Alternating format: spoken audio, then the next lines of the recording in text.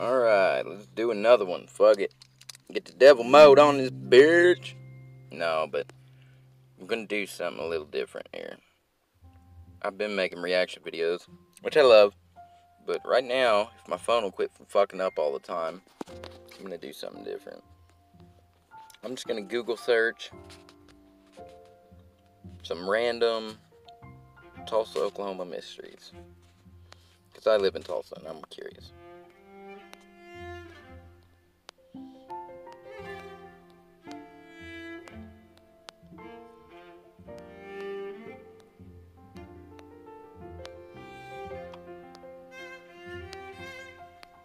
How y'all doing?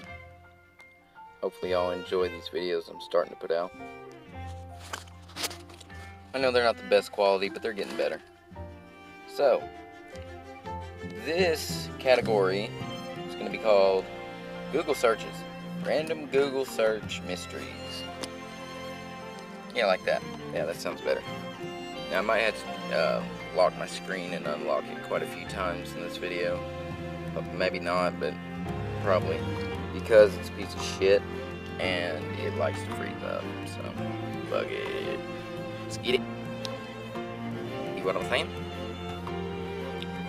Always good shit. Alright, let's get it. You ready? Making sure I'm still recording. Yeah, I'm good. Okay, six unsolved mysteries in Oklahoma. I said Tulsa, fucker.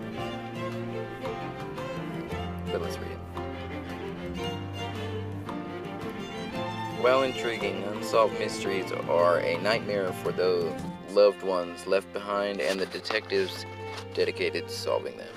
Sometimes it's new forensic evidence, and other times it's simple as re examining clues that lead you to a cold case being solved. You never know. You might be able to help classify these cases as solved once and for all. Number 1 Shannon Baldwin Hawkinson, Enid, 2012.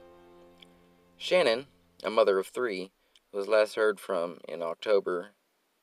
What the fuck did I just say October for? Sorry, guys. In May 2012, but was not reported missing until August 7th, 2012. And that's a long time to not notice someone's missing or report them. I mean, like, I'm just saying, if my family don't answer the phone the first time, like, I'm calling 20 more times, then I'm calling the cops. That's a little drastic, but I mean, you know, that's a long time. I mean, June, July, August, that's three months. Anyway, she stopped responding to family and friends in the spring of 2012. Holy hell! What the hell? That was all the way in the spring. Police received a few tips of the whereabouts of her body. What the hell? But the tips only led them to a dead end, so who's to say she's dead? Detectives believe she is the victim of foul play and continue their investigation case. That is not very much information. Uh, let's go ahead and see if we can find some more about the Shannon Hawkinson.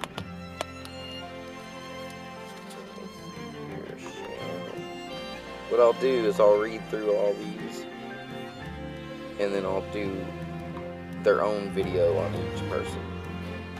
How's that sound?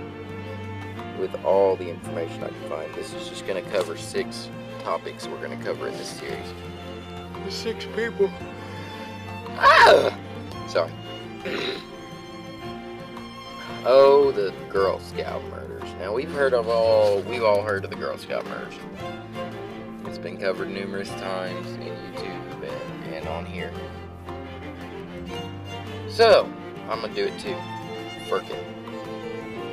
We got Doris Milner, Lori Farmer, and Michelle Gus or Hughes. I don't know how to say that, but may your soul rest in peace. Hold up. I can do this. Freaking phone freeze is bad. The horrific crime happened on June 13th of 77 at Camp Scott in Mayes County. It was the first night of Girl Scout camp when three young girls were killed and sexually molested. The girls were 8, 9, and 10, and were murdered sometime between 2 and 4 in the morning. Ironically, it's 3:49 right now. They were murdered in their tent and carried about 150 yards from it. At about 6 o'clock in the morning, A camp counselor was walking along the trail to take a shower because she smelled. She really needed a shower. And when she discovered the bodies on the side of the trail, man, that's horrible. Going these bodies, like it's it's it's sad. There was a man, and I believe his name was like Eugene Scott, or I, I don't know what his name was. I just know it was Eugene something, and I will find out more about him when we go into each individual one. But he was tried.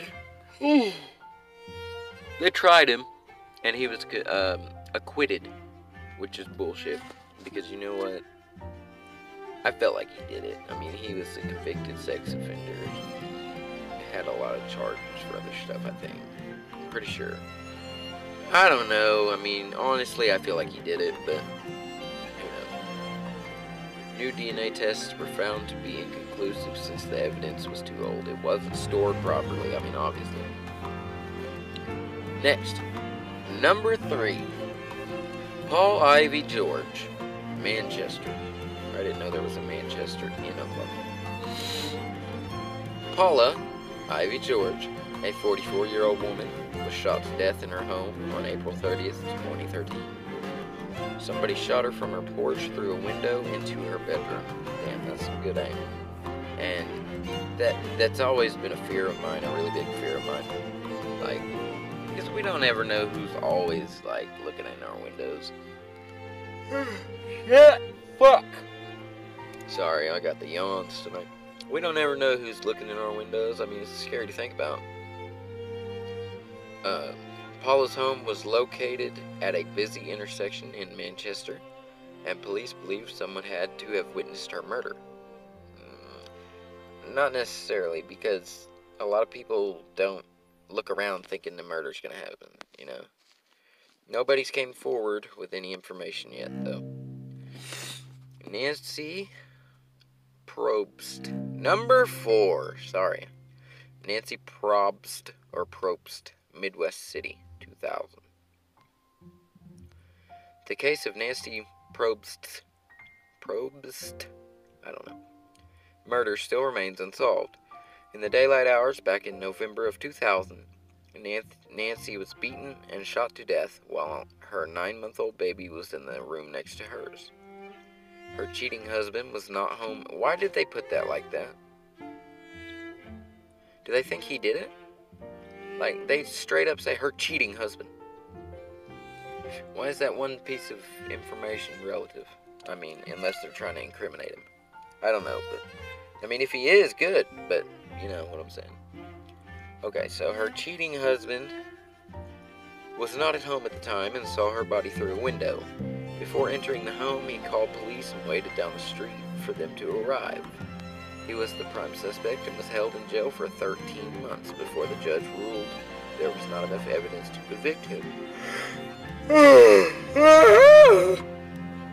There was not enough evidence to convict him. There had been other break ins in the neighborhood, and some other women were sexually assaulted. Nancy's body was not sexually assaulted. That's how you know it was the husband. He, had sex with her all the time. He didn't want to do it anymore. So her uh, crime did not follow the pattern of the others. Police are retesting unknown DNA that was found at the crime scene. we'll, we'll touch base on that in episode 4. Laura Bible, or Lauria, this is Lauria, but I thought it was Laura. I, I don't know. Lauria Bible and Ashley Freeman Welch. Now, this is a sad case, too. 1999. These were very young girls, and it's, it's, it's sad. No one knows for sure what exactly happened to Lauria Bible and Ashley Freeman on December 30th of 1999. They were staying the night at the Freeman's mobile home when sometimes during the early morning hours, it caught fire. Some bitch caught on fire. Just, just whoosh. And out of nowhere. It's kind of strange, you know, unless someone was like, you know, hitting the pipe or something, you know, smoking a little cigarette and fell asleep because it was high on heroin or something. You never know but the house caught on fire. And uh, Miss Freeman's body burned. They died. Mr. and Mrs. Freeman died in the home, inside, burn up, dead. Um, Miss Freeman's body was found in the mobile home, but Mr. Freeman and, and the two girls were not found. Oh, I didn't know Mr. Freeman wasn't found. Well, he was not found. That's shocking as fuck. Oh, oh, okay. A day, okay, okay. A day later, Mr. Freeman was found shot in the head. His wife has also been shot in the head. Now, I didn't know that. I did not know that, and you know what that reminds me of? That I think that's a murder suicide. I think he killed his wife, burnt the bitch to the ground, took the girls somewhere, killed and disposed of them, or gave them away, or something. Probably killed and got rid of the bodies because they would have been identified by now, probably if they were still here. And if I had to guess, I'd say he shot himself. Who's to say? I don't know. He had been shot in the head prior to the fire. No trace of Gloria or Ashley has ever been found. A few men did confess, but the confessions were proven false. I don't know why anybody would ever confess something they didn't. Fuck that shit. Not even for attention. The case still remains unsolved. And this one, this is a personal case to me. Brittany Phillips case. Um, my my grandfather was in a writing class because he loved writing. Back when I was like 10 years old. When I was young, I'm 24 now. And he was a lot. And he was in a writing class with her mother.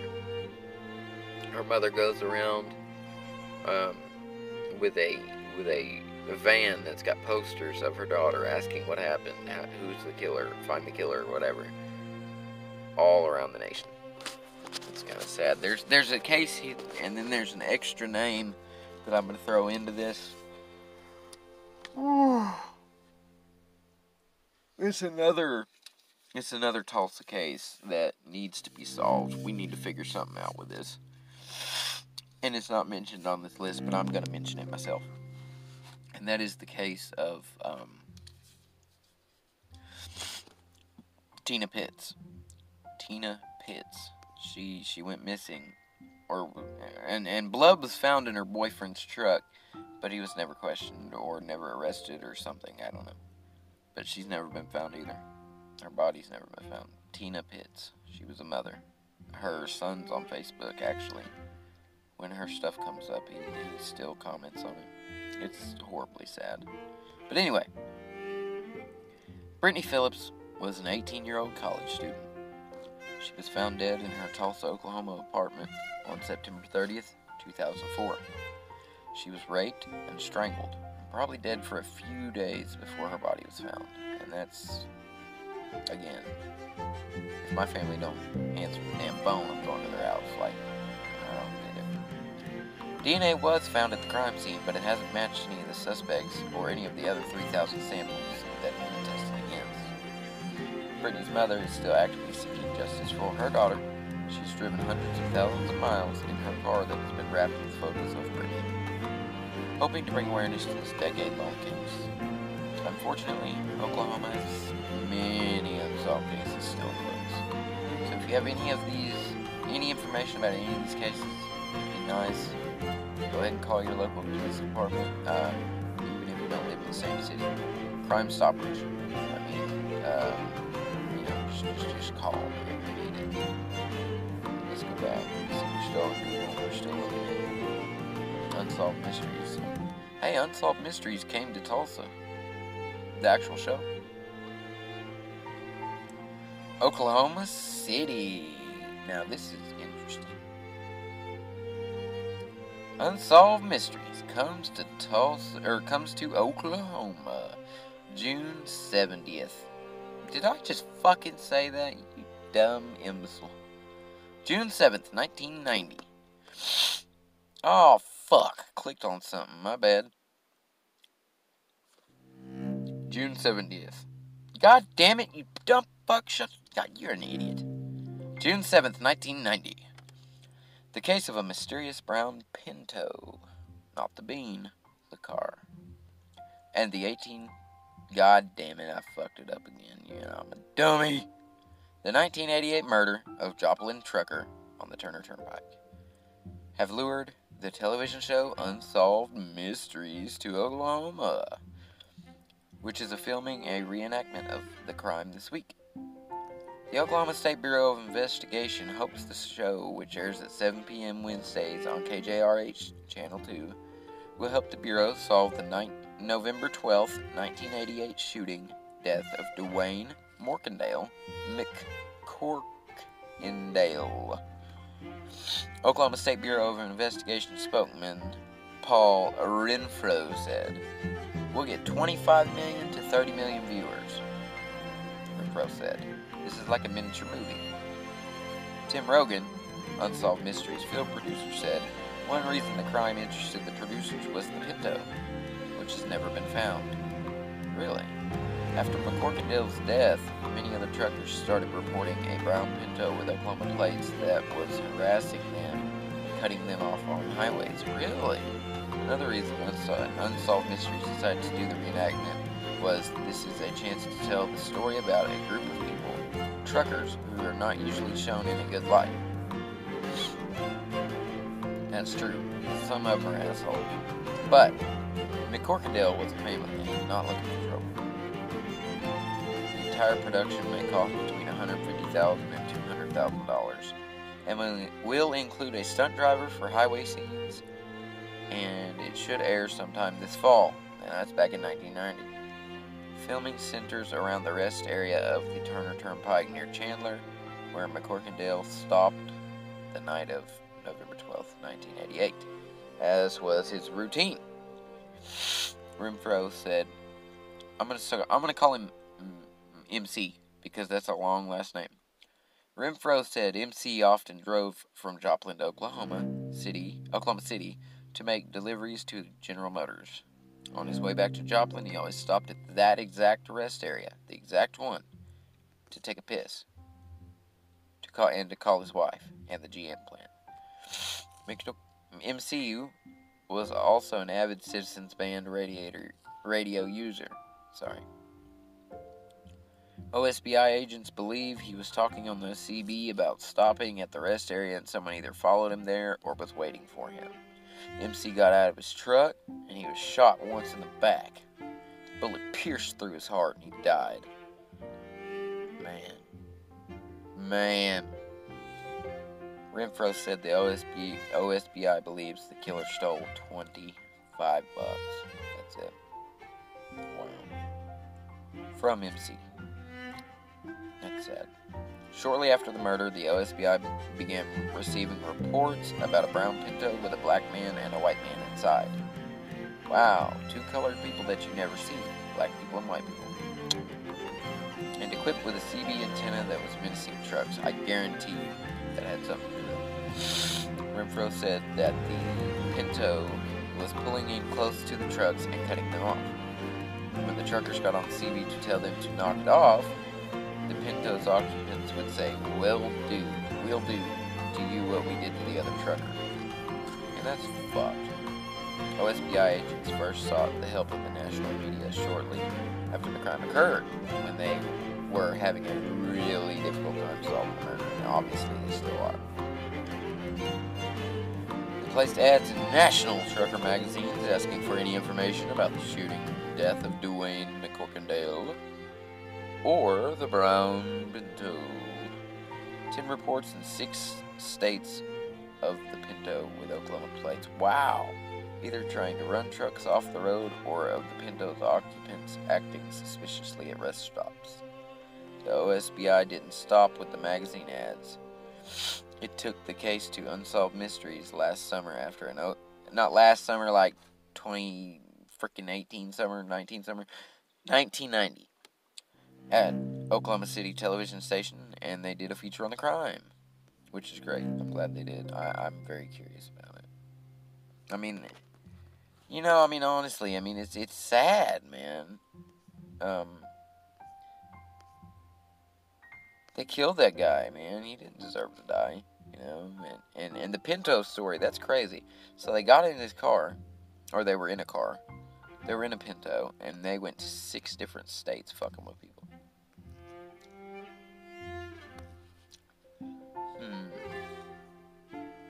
Let me see if I can find some, some, some more older ones, or maybe some more interesting ones. This one's on Wiki, I think, or something. I just want to see. Oh, okay, okay, okay. Here's one. Michael Wayne Brown. We got a few of them.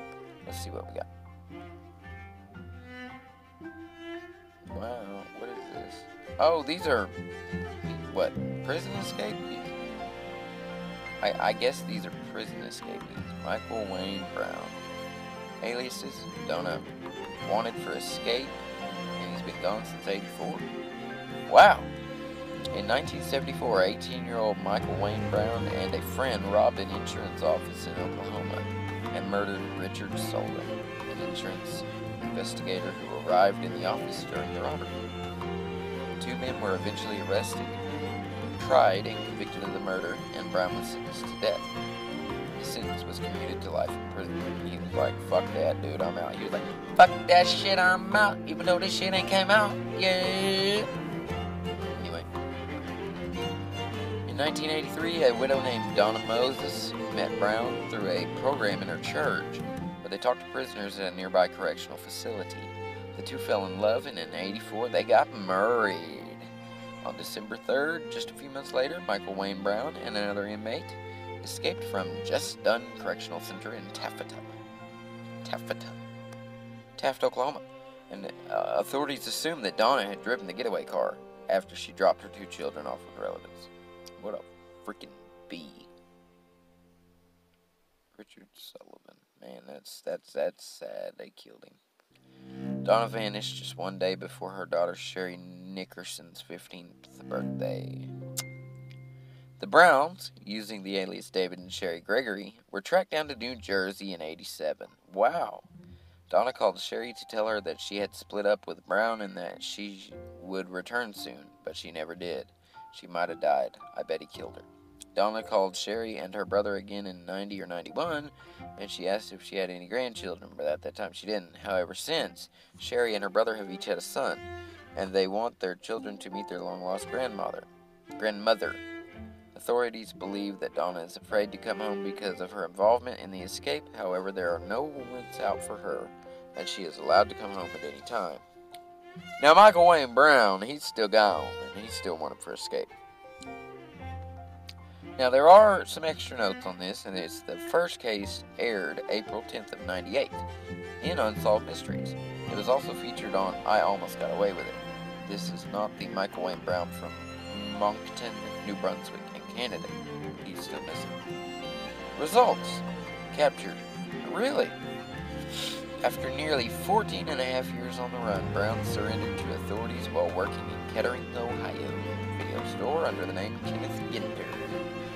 Going on the run after fewer res- recognized him from the Unsolved Mysteries segment, he returned to prison to finish his sentence.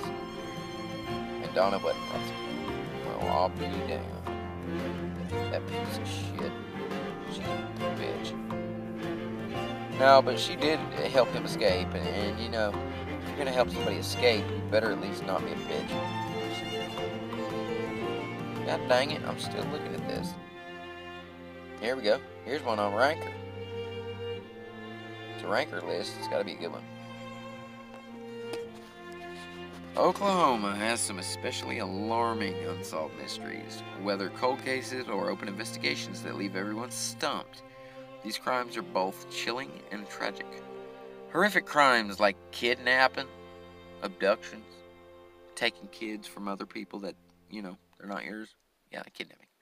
Murder, killing, slaying, homicide. Death by someone else's hand. Murder. Through gain a layer of mystery. Though, not through. Though gain a layer of mystery when the killer remains at large. Many unsolved Oklahoma murders appear on television shows like Unsolved Mysteries or circulate as stories among true crime enthusiasts. People losing their life is always tragic, but perhaps spreading their stories will help authorities discover clues and bring the victims' families closure. I agree. What is this? An unknown assailant murdered three Girl Scouts at summer camp. Well, now we know that. But there's that, that picture I was telling you about, about Eugene Hart, or whatever his name was. What is his name? Let me see if it's got a name Leroy Hart. Gene Leroy Hart. I thought so. I was close. That's him. The guy I was telling you about at the Girl Scout murders. I mean, let's skip through that because we already know that. Oh.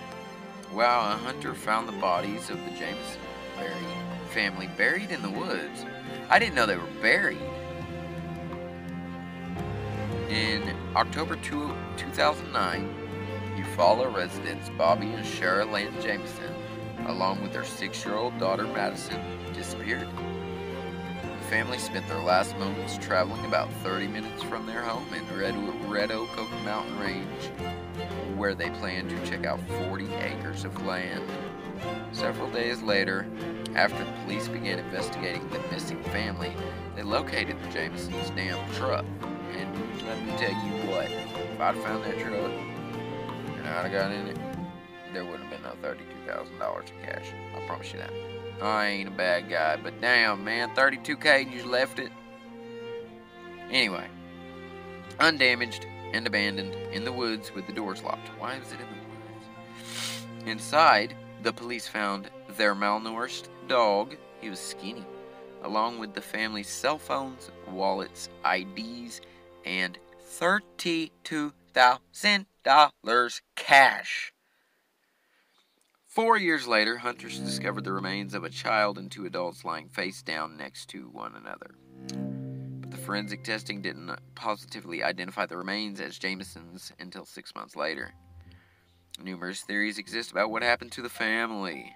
One posits a murder suicide, while another suggests that a murder at the hands of Bobby's father, who allegedly had an unstable relationship with the family. Additionally, police discovered a long, angry letter that Sherilyn wrote to Bobby and couldn't uncover the pistol she owned. Because the family was carrying a large sum of cash, some think they were, might have been involved in drugs. No, no, no, drugs are bad. A local pastor revealed Bobby once sought some advice about an alleged haunting in his home. Bobby and Sherilyn may have believed in the occult. She owned a witch's Bible, though she claimed it was only a joke. The night the Jamisons left, home security footage recorded them loading items truck like in a trance-like state. I don't know what to think about that. And here's a mystery. Here's something a little different. Joanne Gay Croft was her name. She vanished after a devastating tornado. So, it's a different. This ain't no murder. It's something different, I, I guess. A massive F5 tornado ripped through Woodward, Oklahoma on April 9th, 1947. It became the state's deadliest tornado after it injured over 1,000 people and killed 185. Damn. Four year old Joanne Gaycroft lost her mother in the tragedy, and her stepfather suffered serious injuries. Joanne, meanwhile, ended up in a hospital when a piece of wood pierced her leg, while her sister sustained minor injuries. As Joanne and her sister recuperated in a hospital basement room, two men in khaki colored military outfits entered the room and took them with them. While it took her. Joanne didn't want to leave her sister, and when the staff tried to intervene, the men claimed they were taking her to another hospital. No one ever saw her again. What the hell? A large scale manhunt for both Joanne and her kidnappers failed to turn up any clues of what happened to the little girl. Since the incident, many women have claimed to be Joanne, including one who believes she remembered the aftermath of the tornado while under hypnosis. The woman saw an episode of UM, Unsolved Mysteries, that led her to think she might be the missing girl. A scar on her leg vertically was her story, but blood tests proved she wasn't Joanne. That's sad. Now we've seen that one. I've already seen that one. You know, I just read that one. Um, okay, here we go. Aileen Conway passed away in a car crash, but evidence suggests foul play. When a farmer noticed smoke rising from a nearby road on the morning of April 29, 86, he immediately called the police. Authorities arrived at the scene to find a flaming car burning so hot the car had melted to the guardrail. Wow. They identified the vehicle's owner as Pat Conway, and a few days later, the occupant what they said was his wife, Aileen Conway. Skid marks at the scene led police to label Aileen's death an accident, but several strange details caused Pat to believe someone murdered his wife. The day Aileen died, Pat found the patio door wide open, the iron on, and the garden hose running. Aileen failed to take her purse, her glasses, or her driver's license. She also left the phone off the hook and water in the bathtub. Because he also didn't understand why Aileen would be driving on a road unknown to both of them, Pat contracted the A investigator and they visited the crash site. They discovered a bulletin from the Conway's church on the side of the road that Pat remembered seeing on the car's dashboard. I didn't know that was in Oklahoma. Heard the story before on Criminally Listed. I didn't know it was in Oklahoma. Aileen never drove with the windows open. Finally, arson experts got involved. They discovered the car's gas cap was missing, consistent with arson cases. They also determined someone likely doused the inside of the vehicle with gas. Investigators have never identified a possible suspect or motive for the murder. A man murdered a Jane Doe baby seconds after its birth. Wonder why. A deer hunter scouting an area in McIntosh County in November 91 heard a woman's screams from across the river. He saw a man hitting something. The assailant then grabbed a woman, dragged her to a vehicle, and drove away from the scene. After they left, the hunter approached the area and discovered a deceased newborn in a plastic bag. That's fucked. They should have killed him from that point. Coroners determined that the woman gave birth only seconds before the male companion beat the infant to death, the little bastard. Not the kid, the dad, the, the, the guy. Despite officer efforts, no one possessed any information about the woman's identity, and the case went cold. But it tragically affected the town. I mean, eh, dude, look, y'all beat a little kid. That's fucked. They raised money to hold a funeral for the baby. DNA, DNA evidence finally helped authorities discover the mother's identity and the authorities arrested Penny Anita Lowry. No, not good. She confessed to her part in the child's death, but refused to name her male companion. In 2010, Lowry pled guilty to a lesser charge of first-degree accessory to murder and a 45-year sentence. The identity of her male, the man she's scared to even say who it is. Now, the Oklahoma City butcher that dismembered three women, this is going to be the last one, Three utility workers discovered the Oklahoma City butcher's first known victim inside an abandoned house. April 1st, 76. The perpetrator placed Kathy Lynn Shackelford's head into a popcorn bucket. Wow. Police also found her leg and torso inside the house. It took nearly two decades, 20 fucking years, to identify her via DNA testing. Three years later, a group of children playing basketball Noticed a dog carrying a human head. Ain't that a fuck? Is that not a fuck or what? A dog running down the street with a kid with a head. The killer cut up his victim, identified as Arlie Killian, and scattered her body parts around the area. He wrapped them in paper bags or newspaper and placed them around town. March 6th of 86. Two people separately discovered body parts belonging to Tina Sanders. Police reasoned that the OKC butcher had struck again. The killer had apparently disappeared after the accident, but authorities realized all three victims were Native American heritage, possibly possessed connections to sex work. They also noted the killer supposedly placed his women's body parts where passerbys would find them, and dismembered the remains never included the victim's sexual organs. They figured out who the butcher was. His name was Henry Lee Lucas serial killer eventually convicting of killing 11 people. Wow. As a suspect in Killian's case, they never made an arrest for any of the women's murders. Really? That's fucked. Yeah, we've seen this one. I'm gonna read this one too as a bonus. In 1980, April 80, a group of fishermen discovered the body of a young woman left uh, alongside a river near Jones, Oklahoma. The killer shot her in the chest three times and likely dumped her body by the river. Then he covered the body with quicklime, thinking it would hasten decomposition. The burnt lime preserved the woman's body, however, so the police were able to see her bullet wounds, get a basic idea of her facial features, and make out a small heart tattoo on her chest. The unknown lady became known as the Lime Lady. DNA evidence is yet to identify the woman. Authorities suspect she is likely an orphan or a foster child. No one ever reported her missing or anything. They buried her body in an Oklahoma City cemetery until the police can uh, uncover the identity of the woman. Nothing can be done, apparently. This one was pretty interesting. I'll go ahead and give you two bonuses. Fuck it. Uh, Leonard, or Leonard Dieriksen, disappeared with a man wanting to purchase his horse. On March 14th of 98, a man in a white pickup truck paid Leonard Dixon Dieriksen, whatever, and his 19-year-old son Jared a visit visit at their farm outside of Cheyenne.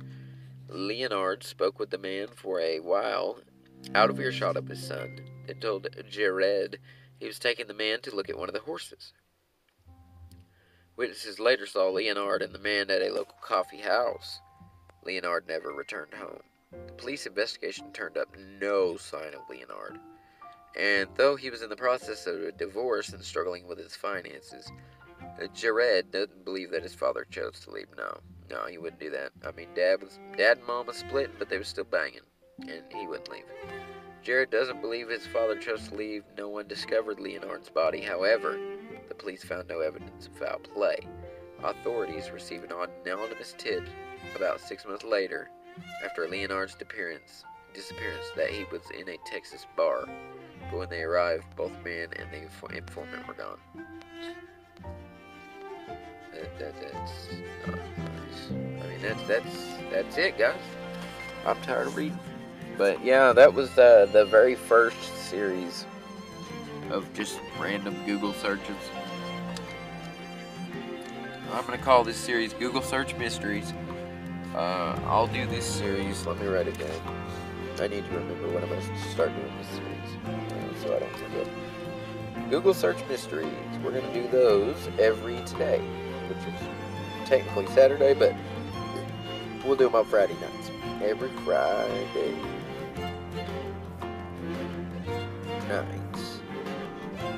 You guys enjoyed that? Um, like I said, the videos will get better. I'm working on my editing skills now. I'm gonna um, start putting out videos with an intro. So I've got an intro, and I'll be making better thumbnails too. Um, I'm learning those apps. I've got the uh, oh, what is it, KineMaster or something like that. I'm learning it right now, and uh, but yeah. So every Friday, get ready. Google search mysteries because we're gonna keep doing them. But anyway, y'all have a good. I gotta get this uploaded. Y'all have a good night. Thank you for tuning into Suspense TV. You know, I'm gonna change my name to Suspense TV because I'm Spencer. And y'all have a good night. See y'all next time. See y'all tomorrow. We're gonna do another Pop Squad reaction tomorrow. I promise. Buddy that's with YouTube, good night.